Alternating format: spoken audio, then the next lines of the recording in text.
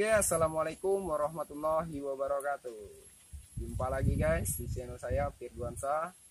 Salam petani muda dari Lahat Kota Agung.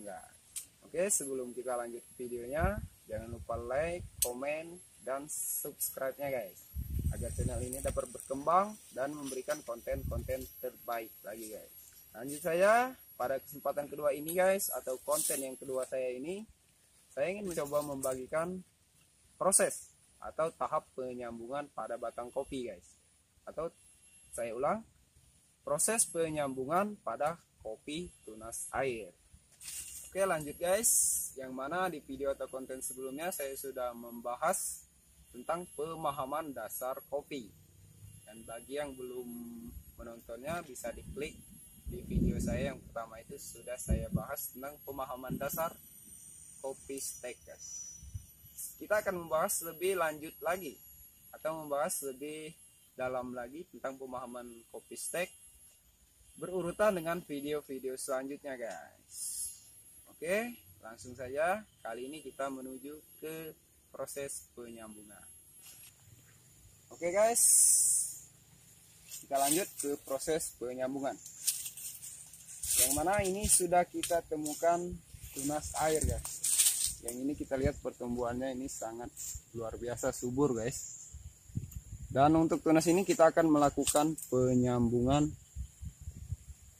melalui dengan sistem sisip guys. Untuk melakukan proses penyambungan tentunya kita juga membutuhkan alat-alat tertentu guys yang kita pergunakan untuk melakukan proses penyambungannya guys.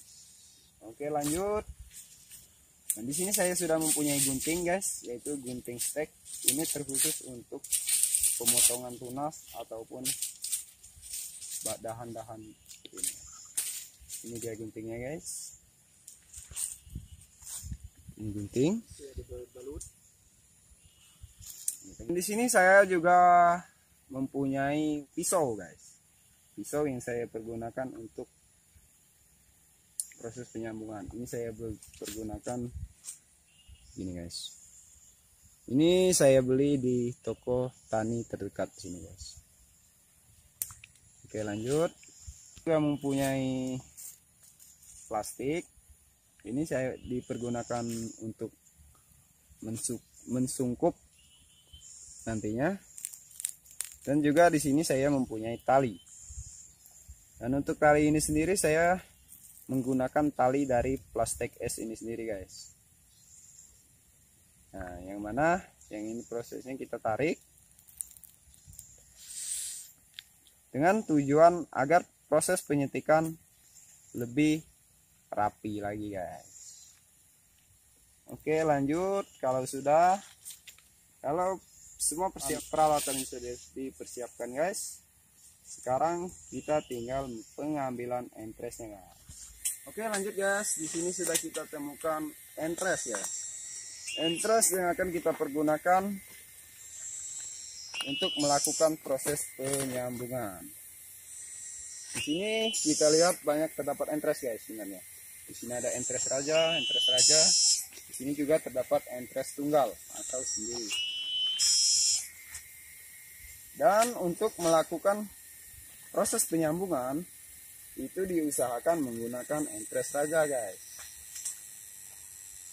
Dengan bertujuan agar pertumbuhannya lebih cepat dan lebih subur. Yang mana keuntungan ataupun kelebihan dari entres raja ini tersebut sudah kita bahas di video kita sebelumnya guys. Oke kita lanjut saja atau langsung saja ke proses pengambilan entresnya guys oke. Di sini kita akan mengambil entres yang ini guys. Oke guys kita ambil dan jangan lupa pemotongannya itu harus dari awal ya guys supaya nanti tidak tumbuh nunas-nunas cacing yang terlalu banyak. Oke dan sini kita sudah dapatkan entrosnya guys. Dan kita kembali ke proses penyambungan. Nah, dan di sini tadi sudah kita dapatkan entresnya guys. Ini dia entres aja dan di sini juga kita sudah siap untuk melakukan penyambungan guys oke lanjut kita ke proses penyiapan. Dan untuk entres ini sendiri kita usahakan yang sudah mempunyai mata tunas seperti ini guys. Karena entres yang sudah membawa mata tunas ini, seperti ini ini tandanya entres siap untuk disambung. Dan untuk proses pengambilannya seperti ini guys. Kita buang ranting yang paling pertama dan yang paling ujung guys. Jadi kita ambil yang bagian tengahnya saja guys. Seperti ini guys. Kemudian kita buang daunnya guys. Kemudian cabang sirip yang seperti ini juga kita buang. Dan kita hanya mengambil satu ruas saja guys. Seperti ini guys oke entrasnya sudah siap guys lalu kemudian kita lanjut ke tunasnya guys tunas airnya dan untuk proses pemotongan tunas ini sendiri, kita tidak memotong terlalu tinggi dari awalnya guys. Sini kita memotong sedikit lebih pendek guys. Ini guys.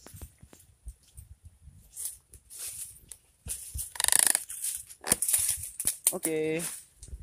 Dan diusahakan untuk lebih rapi guys, lebih dirapikan lagi guys. Kira-kira seperti ini guys. Oke. Lalu sudah guys, kita lanjut ke proses pembelahan.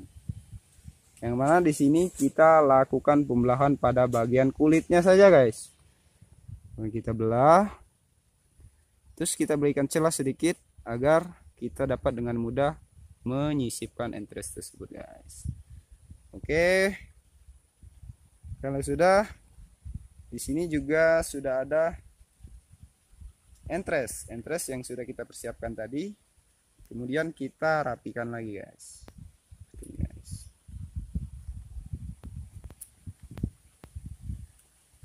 Kemudian entres ini kita sayap guys. Sayap terlebih dahulu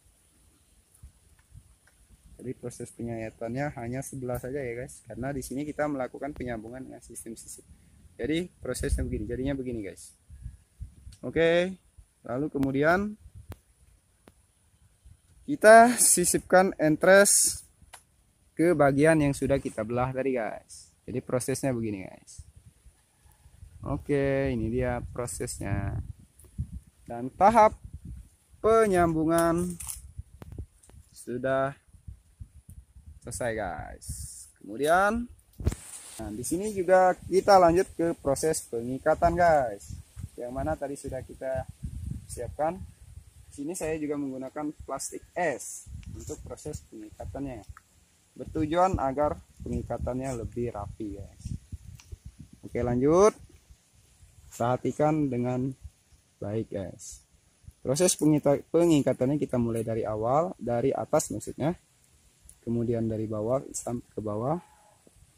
Oke di sini saya hanya menggunakan satu tali guys. Dan kemudian benar sehingga dia benar-benar tertutup lalu kemudian kita ikat. Oke kita sisakan sebagian seperti ini. Kemudian proses penyungkupan guys. Ini juga saya menggunakan plastik es kemudian kita langsung saja guys. Kita melakukan proses penyungkupan oke guys. Nah lanjut. Seperti ini guys. Nah, dengan proses penyungkupan seperti ini otomatis penguapan atau pengembunan akan segera terjadi guys. Dan demikian dalam waktu dua minggu atau tiga minggu proses pembukaan plastik akan bisa akan bisa kita buka guys Oke.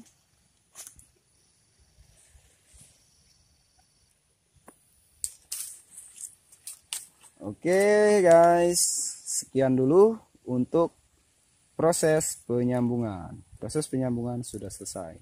Dan sebelum saya mengakhiri video saya kali ini, saya akan mencoba menampilkan terlebih dahulu. Foto penyambungan yang sudah siap dilakukan pembukaan plastik. Mana tadi setelah kita bagikan tutorial melakukan penyambungan atau proses penyambungan pucuk pada batang kopi. Dan saya rasa sekian dulu guys video dari saya dan semoga tutorial atau ilmu yang saya bagikan kali ini bisa bermanfaat bagi teman-teman para pencinta kopi dan juga baik maupun pemula ataupun yang baru ingin terjun ke dunia kopi. Jadi dengan sistem stake seperti ini guys, diharapkan ke depannya kita dapat meningkatkan hasil produksi kopi kita. Oke guys, saya rasa sekian dulu video dari saya. Jangan lupa like, komen, dan subscribe-nya guys, agar channel ini dapat berkembang dan dapat menginspirasi teman-teman untuk lebih baik lagi dalam belajar merawat kopi.